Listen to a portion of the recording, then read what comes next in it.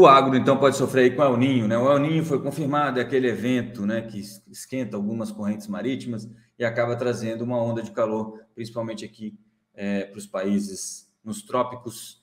E no nosso caso aqui, traz mais seca para o Nordeste e mais chuvas para o Sul, o que prejudica aí a produção agrícola. Lembrem-se, o agro não, não é só pop, não é só tech o agro é o PIB hoje. Então, se o agro for mal, as coisas podem dar uma encancada, dar uma dificultadinha, tá?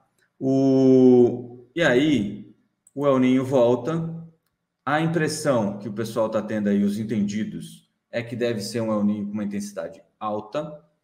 E e aí é isso aqui, ó. Um estudo feito por dois pesquisadores da Universidade de Dartmouth, Justin Munkin e Christopher Callahan, estima que os prejuízos à economia mundial com El Ninho, iniciado neste ano, podem chegar a cerca de 3 trilhões de doletas até 2029.